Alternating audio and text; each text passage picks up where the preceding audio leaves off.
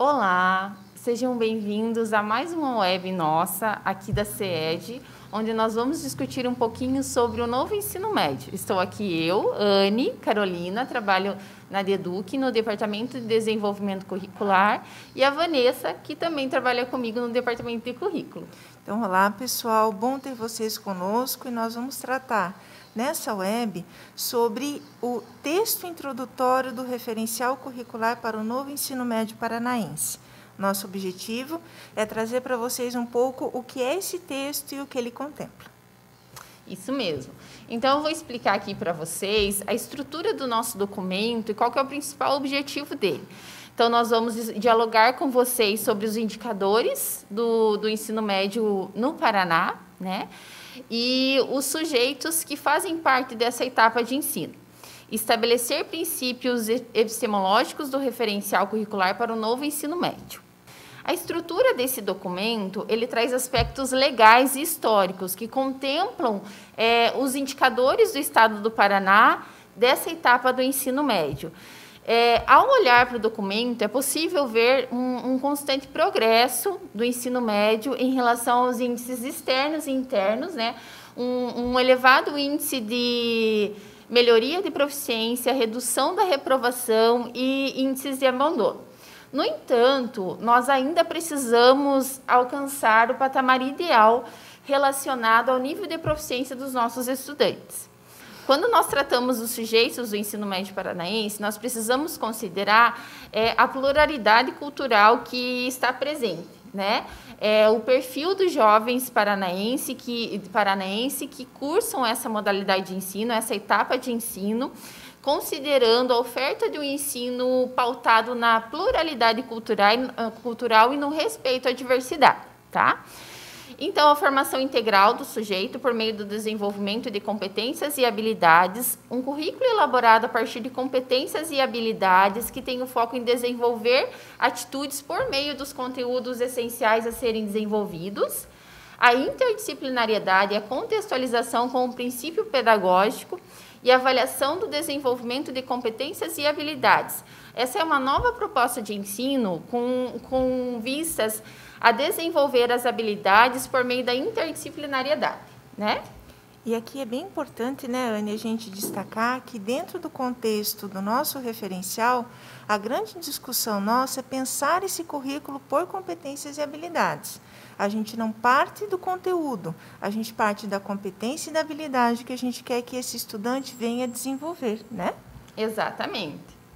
Então, o histórico e a legislação no, no, nos sugerem um, um caminho é, a seguir pensando no desenvolvimento desses saberes, dessas competências e dessas habilidades, garantindo ao estudante que cursa essa etapa uma formação integral, né? Apresenta também a legislação do, do ensino médio e seus impactos na concepção da organização pedagógica do novo ensino médio. E aqui é importante, né, Ana, a gente salientar também que essa legislação relacionada ao novo ensino médio é que norteia a construção dos currículos a partir dessa perspectiva de competências e habilidades. E isso, para nós, é um grande desafio, porque nós estamos acostumados a partir dos conteúdos para o desenvolvimento do currículo. E agora não, nós vamos partir de uma competência e uma habilidade a ser desenvolvida, desmembrando ela a partir de diferentes objetivos de aprendizagem e chegando até o processo de conhecimento. E é importante, gente, quem nos diz isso? A legislação. Exatamente. Então, a partir disso, dos dados que o referencial nos apresenta, as redes poderão, é, a partir desse referencial, estruturar e elaborar os seus currículos considerando os aspectos legais e peculiares de cada rede de ensino, tá? Então, vocês vão encontrar no referencial a apresentação dos indicadores, a apresentação dos dados da escuta aos estudantes, esse é um princípio definido pela legislação, que nós precisamos dar voz aos estudantes para ouvir os seus interesses e então pensar os itinerários formativos e a estrutura da organização da etapa do ensino médio que esteja relacionada aos interesses dos jovens ao seu projeto de vida. E aqui é bem importante também a gente destacar que essa escuta aos estudantes ela foi realizada ao todo o sistema de educação do Paraná. os nossos estudantes, mais de 200 mil participantes, né? Então, nos deu bastante subsídios para isso e nos dá também um pouco esse olhar diferenciado para as possibilidades de organização do novo ensino médio. Isso mesmo. Outro aspecto importante a considerar é em relação à organização dos princípios metodológicos que essa nova estrutura deve contemplar. É, muito se ouve falar em metodologias ativas, metodologias participativas, e é por meio delas que os conhecimentos eles são efetivados na prática, né? Além de uma nova estrutura curricular, nós precisamos também pensar numa nova é, organização metodológica para que, de fato, é, os estudantes se apropriem das aprendizagens a serem desenvolvidas. Dentro do contexto também do nosso texto introdutório do referencial, nós trazemos uma reflexão sobre os sujeitos do ensino médio paranaense. Nós sabemos que o conceito de juventude, ou melhor, juventudes, ele vem sendo desenvolvido de uma maneira bem diferente nos últimos anos, tendo em vista as mudanças sociais que nós temos. Essas mudanças sociais impactam bastante no contexto, principalmente do que a escola precisa trabalhar, né? A sociedade e a escola, elas são instituições correlatas, a escola faz parte desse contexto da sociedade, e nesse sentido, nós trazemos uma reflexão sobre esses sujeitos. Então, quem são os sujeitos do ensino médio? Quem são esses jovens, né? Nós trazemos também uma reflexão, como a Anne colocou no começo, sobre as diferentes modalidades de ensino, mas quem é o sujeito desta modalidade, como pensar as garantias de aprendizagem para esses sujeitos, né?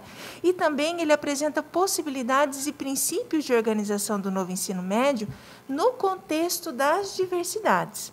Então, pensar o nosso novo ensino médio, percebeu uma construção a gente parte do aspecto histórico, passa pelos indicadores, ouve os estudantes, apresenta possibilidades, resgata quem são esses sujeitos, pensando também nas possibilidades de implementação do novo ensino médio, né, Anne? Exatamente. A nossa reflexão ela precisa estar sempre pautada nas expectativas dos jovens que cursarão essa etapa de ensino, mas também nos desafios que os jovens enfrentarão no século XXI. Né? Os desafios que já estão postos aí, nós precisamos trazer a nossa reflexão e estabelecer um encaminhamento metodológico, um currículo que esteja conectado a esses desafios e a esses interesses. E uma questão bem importante, gente, né? A escola no novo ensino médio passa a ter esse papel fundamental, formar o jovem para a vida, para o trabalho e para o desenvolvimento acadêmico também.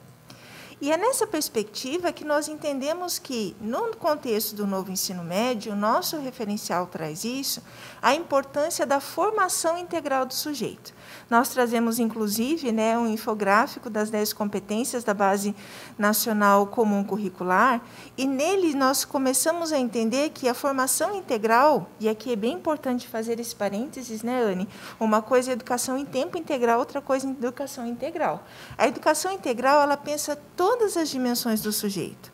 Essas dimensões do sujeito nós vemos refletidas nas 10 competências gerais da BNCC, que olha para esse sujeito como um ser do conhecimento, como um ser da relação, como um ser que se constrói e como um ser que contribui com a sociedade.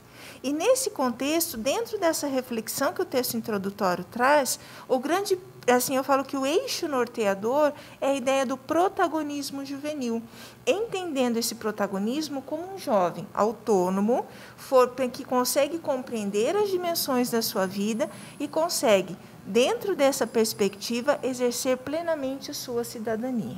Exatamente. Eu acho que a grande diferença, né? Eu penso que a grande diferença é que agora essa nova proposta permite de fato que o estudante faça as suas escolhas e também prepara esse estudante é, por meio do projeto de vida para que ele consiga fazer de fato as escolhas que correspondem ao seu perfil de aprendizagem, aos seus interesses futuros.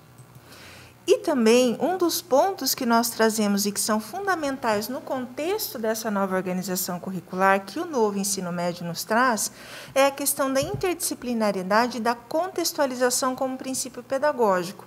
Por quê? Porque nós temos no nosso referencial a estruturação por áreas, nós consideramos os componentes curriculares de cada uma das áreas, porque nós entendemos que o conhecimento, né, que o saber específico de um componente curricular é importante no desenvolvimento do sujeito, mas a grande diferença, e a Anne já pontuou isso, é a questão do como nós vamos fazer isso. E o como está na ideia da interdisciplinariedade a relação intrínseca dos diferentes componentes em cada uma das áreas e entre as áreas é que vai ser o grande prisma do contexto do desenvolvimento curricular.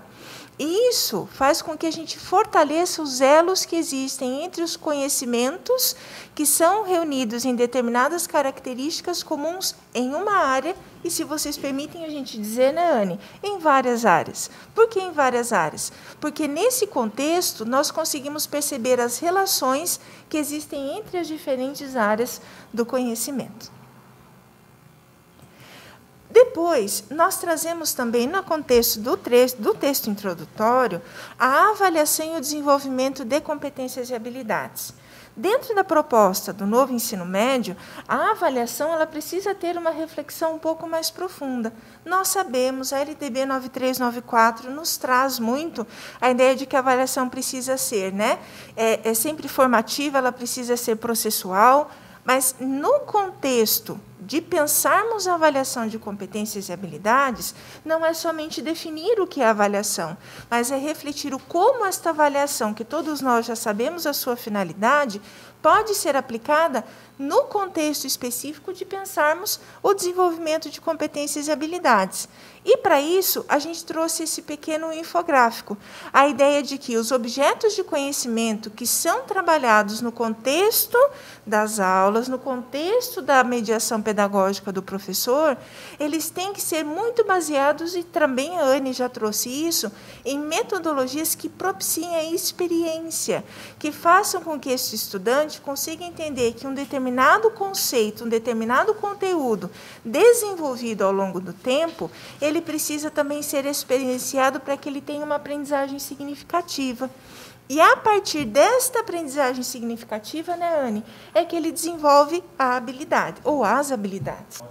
Outro ponto importante também a considerar no momento de pensar a problematização de conteúdos e a socialização dos conteúdos e aplicação de uma avaliação que considere o desenvolvimento de habilidades, eu preciso propor problemas para que os alunos pensam e reflitam a solução desses problemas para a sua vida prática. Então, é uma constante relação que eu preciso estabelecer entre teoria e prática. Né? Exatamente, porque a construção dos saberes e o desenvolvimento das habilidades, né, Anne, estão exatamente relacionados a isso, ao estudante saber ele apreender um determinado conteúdo, mas conseguir relacionado com a sua vida. E, de novo, entendendo de que a formação por competências e habilidades é para a vida, é para o trabalho e para a academia também. Nesse sentido, meus queridos, é que nós convidamos vocês. A consulta do referencial do novo ensino médio vai iniciar agora no dia 3 e nós queremos que você contribua com o documento. Ele é, né, um documento para todo o sistema. Ele é um documento que tem que fazer sentido para a sua rede, tem que fazer sentido para a sua escola, e nós queremos que você diga para nós o que ele pode ser melhorado. Quanto mais participações nós tivermos, melhor o nosso documento ficará, porque ele terá muito o princípio de que os diversos olhares do Estado, nos diversos contextos do Estado, podem ser também contemplados. Exatamente. E esse documento ele se torna cada vez mais rico à medida que ele eh, recebe as contribuições da rede, dos atores da rede, professores, comunidade escolar porque nós precisamos ter um documento que de fato esteja de acordo com a realidade dos estudantes paranaenses. Por isso, ouvimos os estudantes e pretendemos a partir dessa consulta também ouvir a comunidade escolar. E é muito importante que todos participem desse momento histórico tão importante para o ensino médio e para a educação do Paraná, né, Vanessa? Exatamente. Então a gente agradece vocês por toda a participação e também estamos à disposição. No nosso site você vai encontrar vários canais de contato conosco e, por favor, dúvidas que você tenha sobre o processo, entre lá, mande para a gente que estamos aqui para ajudar. Até mais. Obrigada, até mais.